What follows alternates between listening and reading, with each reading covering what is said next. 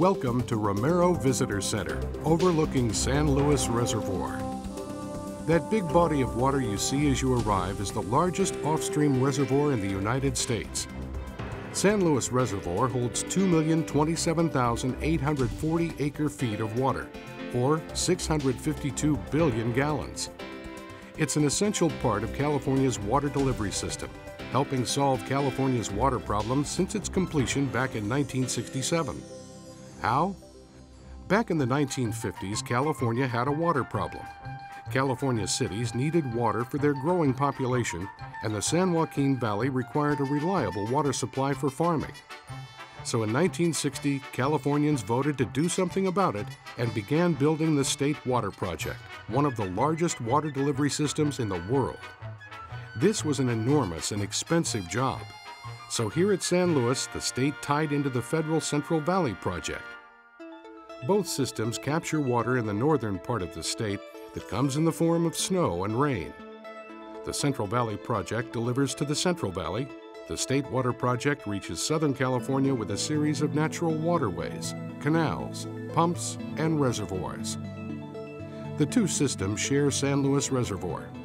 Since both the state and federal governments use the reservoir, it's called a joint use facility. This reservoir serves a special role in both water projects by storing water when it's plentiful and releasing water when it's most needed by farms, homes, and businesses. August 18, 1962 was a warm summer day. President Kennedy, Governor Edmund G. Brown, and other dignitaries gathered for the groundbreaking of this reservoir.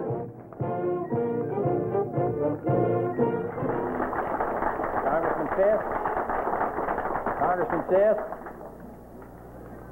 Congressman, my old uh, friend and colleague in the Congress, Governor Brown, Mrs. O'Neill, the Mayor, Secretary Udall, Under Secretary Carr, ladies and gentlemen. It is a pleasure for me to come out here and help blow up this valley and uh, the cause of progress. And what this project also symbolizes is the state working with the federal government, the local communities working with the state. This program is unique in this area. There is no other project in the history of the United States where a state has put in such a large contribution to the development of its own resources and where the national government has joined with the state. This has brought your state to be the pioneer in the United States in the field of development and conservation of our natural resources. California in this area is number one. And it has helped make possible the San Luis Project, which joins all of us together as full and equal partners. This is our task in the simplest terms to strengthen the United States of America. And I'm confident that here in California, which looks to the future and not to the past, that you understand that lesson well. And I hope from this great project will spread a renewed sense of commitment by all the American people so that this country in 1962 can continue to move forward. Thank you. President Kennedy and Governor Brown then set off smoke grenades that showed where the three and a half mile dam would be built.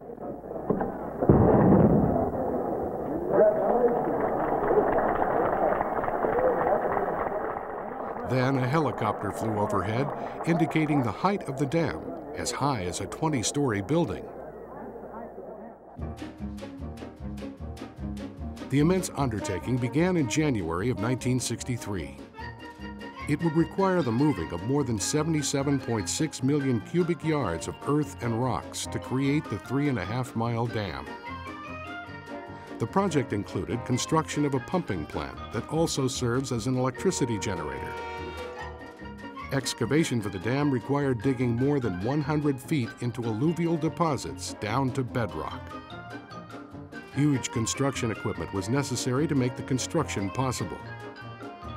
A special machine called a bucket wheel excavator dug earth and loaded it onto trucks simultaneously. 10 buckets on the wheel with a combined capacity of 25 cubic yards did the digging. The large trucks, as well as bulldozers and earth movers, transported material to the dam site. The dam is named for Fresno Congressman B.F. Sisk. Its core is comprised of several layers of material. The base is clay. The next layers include lava rock, also obtained from this area. The final layer is made of large lava or basalt rock called riprap. It protects the dam from large waves created by strong winds in this area. The Gianelli pumping and generating plant at the base of the reservoir was designed and built to be the inlet and outlet for the reservoir. At certain times of the year, plant operators pump water to the reservoir at night when electricity rates are lower and release water during the day to generate power when rates are higher. This greatly offsets the cost of operating this enormous reservoir and keeps the price of water reasonable. In August 1967, exactly five years after the groundbreaking ceremony, San Luis Reservoir and adjacent facilities were completed, two months ahead of schedule. In addition to water delivery, San Luis offers a variety of recreation. Campsites can be found at Basalt, San Luis Creek, Medeiros, and Los Banos Creek. All campgrounds are open year-round. Trophy-sized striped bass and catfish provide popular fishing for the angler. And O'Neill Forebay offers some of the best wind sailing in California. We hope you'll take advantage of some of these activities available to you. Thank you for coming to Romero Visitor Center here at San Luis Reservoir. We hope you're enjoying your time here.